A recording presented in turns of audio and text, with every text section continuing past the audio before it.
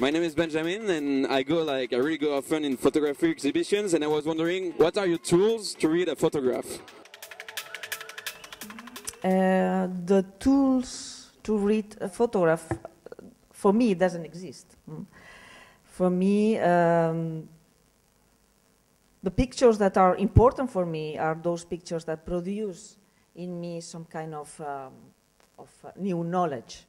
Uh, pictures which I learn how to know differently around uh, the world or about uh, reality. So I, I, think that this is my short answer.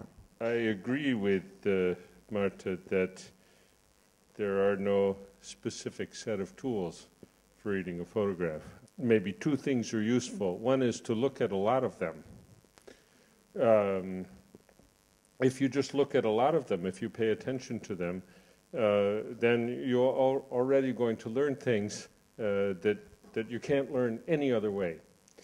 And, and the other, of course, is that although there are no rules and no specific tools, there are lots of other people who've looked at photographs, and uh, you can hear what they think about the uh, about how to look at photographs and what, what they're interested in, and it's a process that never ends.